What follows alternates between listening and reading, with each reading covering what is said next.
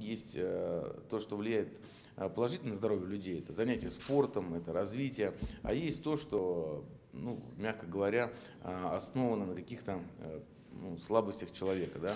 И поэтому все мероприятия, которые в моем понимании Э, не положительно влияют на, раз, на развитие общества или человека, наверное, они должны более пристально администрироваться. И поэтому э, весь там и горный бизнес, либо какой другой, ну, он, наверное, не дает нам возможности развивать наше общество и повышать, так сказать, э, наш интеллектуальный уровень. Поэтому будем действовать в рамках законодательства. Все, кто имеет официальную регистрацию, должны работать в соответствии с законодательством, платить налоги.